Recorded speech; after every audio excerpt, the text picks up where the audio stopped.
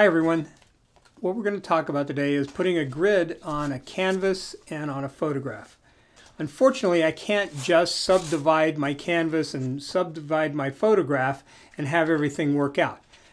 I need to have the aspect ratio of my images equal. If the term aspect ratio bothers you, don't worry about it. We're going to be doing it graphically, not numerically. Uh, so let's get started. I'm going to be using this Sharpie marker. I'm using the marker in order for my lines to stand out in this tutorial.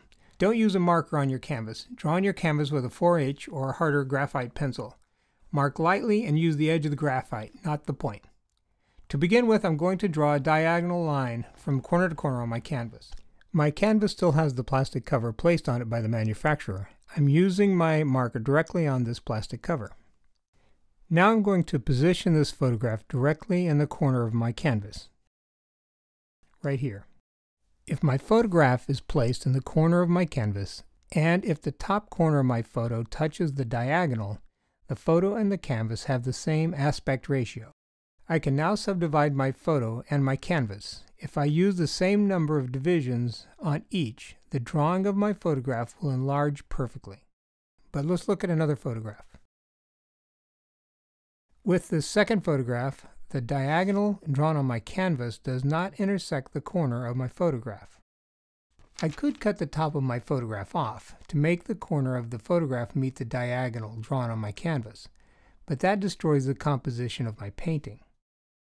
Another solution would have me cut a little off the bottom and a little off the top, but I feel the composition needs the whole image. What I wish I had was a wider photograph find the width I need, I'll take this sheet of paper and fold it to the height of my photograph.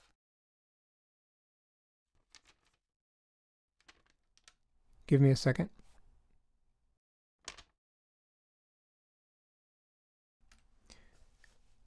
With my photo placed here, I'll build a grid for my reference.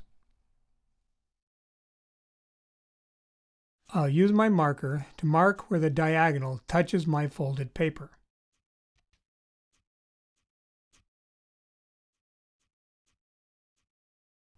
This area, this area to the right of my dotted line, has the same aspect ratio as my canvas.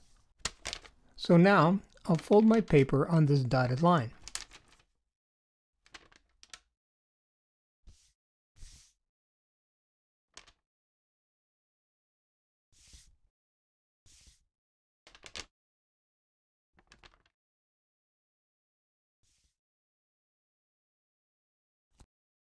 Centering my photograph shows me that I'll need to invent extra wall, flowers, sidewalk, and whatever I need to widen my reference. I've taken a second and cut a piece of paper that matches the dimensions of my yellow paper.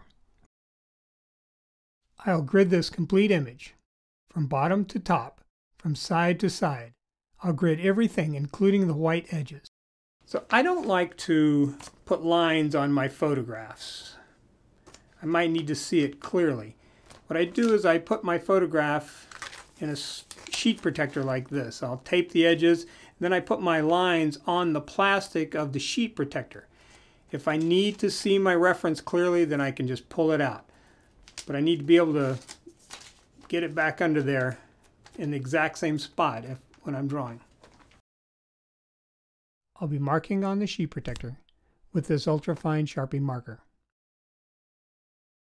I've taped my reference, including the paper border, into my sheet protector. To subdivide my reference, I'm going to use another sheet of paper.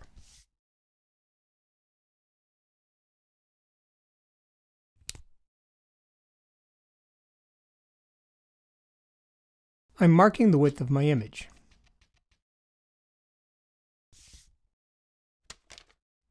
Now I'll fold my paper in half to that mark.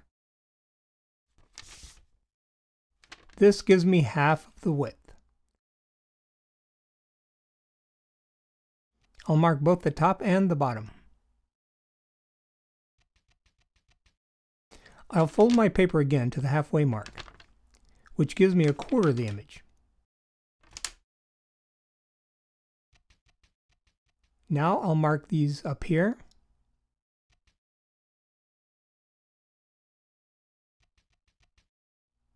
and down here.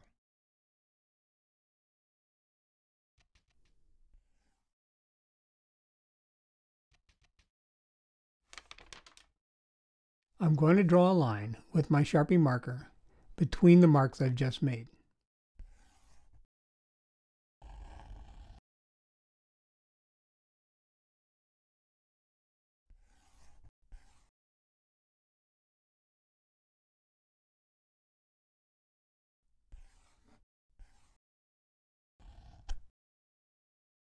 I'll do the same with the height of my image.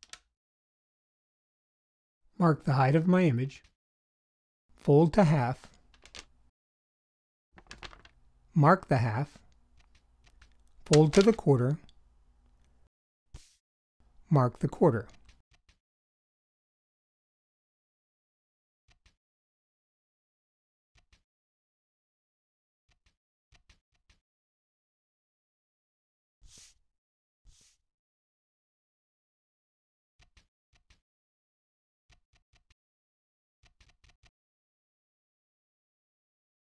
Having marked the divisions, I'll draw the horizontal lines on the sheet protector.